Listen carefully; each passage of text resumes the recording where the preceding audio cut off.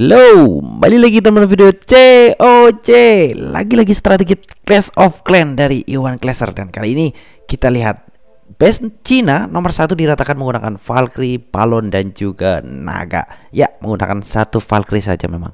Ya, untuk apa? Perhatikan di situ uh, menggunakan Barbarian King dan Queen. Dibantu satu Valkyrie ini untuk menghancurkan air defense Uh, di situ ada dua air defense yang diletakkan di paling pojok dan juga ada empat Tesla di paling pojok di situ ya. Nice, nice. CC tidak perlu dipancing, CC tidak perlu dibunuh hanya untuk menghancurkan ini. Karena apa? CC naga balon uh, bisa uh, dibunuh ya dengan naga ya. CC apa pun itu ya. Oke. Okay. Uh, dan oke okay, kita lihat Queen. Oh, Queen Queen versus Queen hampir saja itu lari kejar. Oke, okay, dan inilah strategi menggunakan 10 naga. 10 naga ini ada 15 balon ya. Perhatikan CC-nya adalah balon dan ini ada dua air defense ada di paling pojok. Kita biarkan saja dan ya kita serang dari sebelah sini. Hmm, sedikit melawan air sweeper sebenarnya ya. Dan oke, okay, kita keluarkan dan sudah dikeluarkan di situ. Balonnya juga keluarkan semuanya. Di situ ada tujuh balon dari CC Clan Crystal. Dan perhatikan CC adalah baby dragon ya. CC musuh baby dragon naga. Tidak perlu uh, kita takut dengan situ ya. Karena apa? Uh, diserang oleh kumpulan naga. Dan ya clone untuk balon dan freeze untuk inferno dan juga air sweeper. Nice. Queen musuh juga bisa mati oleh serangan balon dan juga uh, naga ya. Sorry serangan naga ya. Dan yup uh, masih ada satu red spell, ada dua air defense dan cukup banyak balon di situ karena uh, balon di clone artinya apa? 15 ditambah 8 sama dengan uh, 17.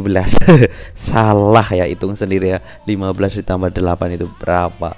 Oke, okay, dan ada satu red spell, ada dua air defense, hanya tersisa dua air defense saja, tidak ada defense udara yang lain dan perhatikan di situ ya.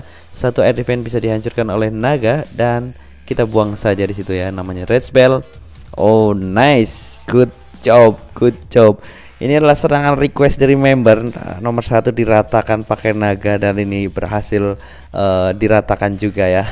Ada yang request uh, Bang Iwan nomor satu diratakan menggunakan naga saja. Oke, langsung diratakan. Oke, okay, good job buat Iwan Kleser. Oke, okay, sekarang Asrul, Asrul ya. Menggunakan 10 witches, 10 giant dan uh, 20 yang namanya polar dan perhatikan tiga jam spell sini digunakan untuk mengarahkan witches polar uh, dan juga barbarian king queen untuk menuju ke inferno, menuju ke eagle dan juga menuju ke inferno lagi. Dan defend-defend yang di bagian luar uh, luar itu bisa terjangkau oleh which is polar ya. Perhatikan di situ ability dari Grand Warden, antisipasi di situ ada Giant Bomb dan Red Spell membunuh CC, membunuh Queen dan juga membunuh Barbarian King ya. Musuh maksudnya ya.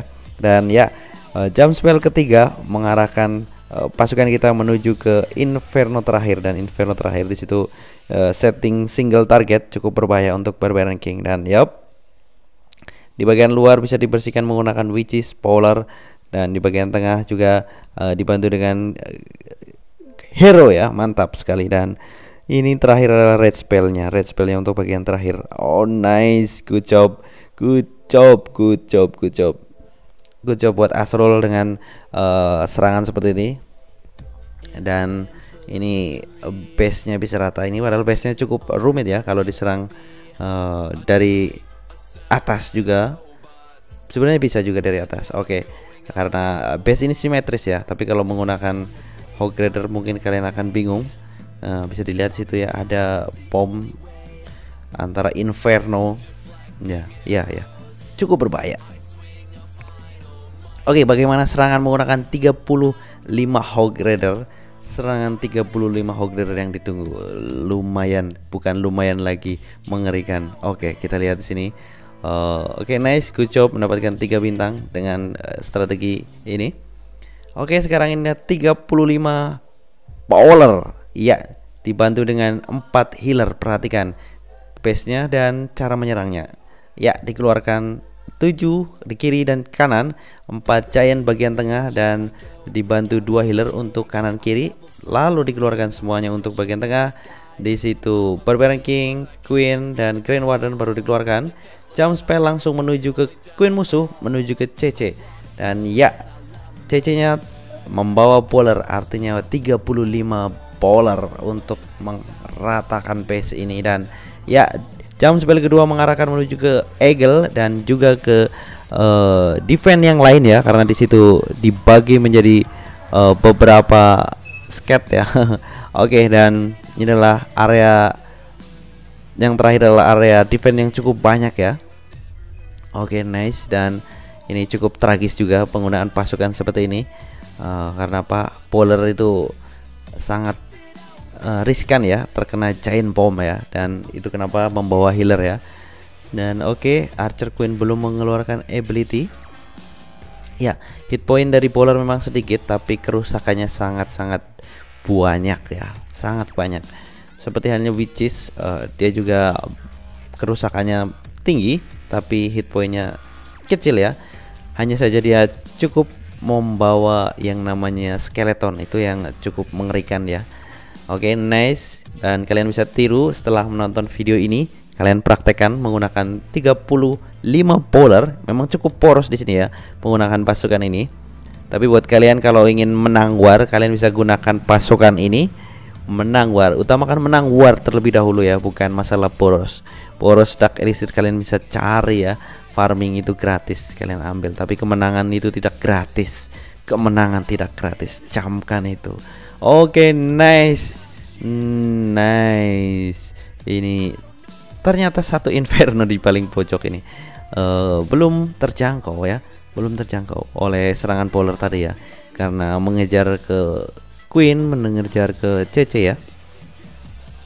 Dan Inferno juga diletakkan uh, di bagian tengah-tengah tembok di situ ya. Oke okay, good. Gimana ini? Bisa hancur nggak nih? Ya masih banyak cukup polar dan di situ Inferno adalah single target. Oh ternyata polar menghancurkan tembok terlebih dahulu. Ya kita perdekat. Ternyata Grand Warden yang menghancurkan Inferno. Lihat Inferno. Boom. Good job buat Grand Warden. Kamu membantu Oke okay, nice nice nice nice nice. Oke okay, selanjutnya ini adalah serangan uh, Town Hall 9 nya Ini melawan Cina ya. Oke okay, skornya tadi berapa lupa? Ya di awal pertama ya. Oke okay. Dan ini serangan ini kokil karena apa? Perhatikan di situ. Oh, ini Town Hall 10 baru ya diratakan menggunakan Town Hall 9 Perhatikan pasukannya yang dibawa cukup banyak. Di situ ada witches, ada uh, ada balon dan terutama ada lava horn nantinya. Oke, okay. lava horn dari CC. Oke, di sini tanpa menggunakan power ya.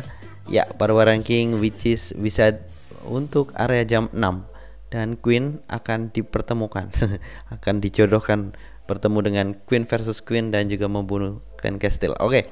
Di red spell untuk kemarahan Queen. Queen versus Queen ya. Oke, okay. which is di bagian tengah dan oke okay, mau dikeluarkan. Oh, grader dikeluarkan dari sini. Grader dikeluarkan dari jam 6. Ini untuk menghancurkan uh, terutamanya adalah air defense ya. Tapi cukup berbahaya ya. Ada Barbarian King Bomb Tower ya. Oh, nice. Nice gimana itu terbang Hog Raidernya ya. Itu, itu kayaknya dikasih uh, jump spell itu. Oke, okay, dua heal spell untuk Hog Raider dan ini bisa kita lihat Archer Queen aman di sana ya aman sekali uh, healernya dan menghancurkan beberapa defense sementara untuk finishing yaitu menggunakan satu lava dan juga balon. Oh, oke mantap. Oke mantap. Mantap ini kerang. Kokil kokil dari Sasuke. Sasuke. Sasuke ini apa ya? Pemain atau film ya? Film ya? Film Naruto. Oke ada wizard untuk finishing. Sekaligus untuk meratakan base ini base town hall uh, 11 eh sorry itu 11 town hall 10 baru ya Oke, okay, good job buat para member-member Iwan Glaser dan semoga kalian yang menonton video ini bermanfaat dan uh, terus upgrade uh, upgrade update ya, update strategimu dan kalian pertahankan ya kemenangan war kalian. Oke. Okay? Karena kemenangan itu tidak bisa dibeli. Oke. Okay. Terima kasih sudah menyaksikan video ini sampai terakhir. Jangan lupa share ke teman-temanmu, terutama teman satu klanmu untuk memastikan strateginya berjalan di klan kalian. Oke, sampai ketemu lagi besok. Terima kasih dan bye bye.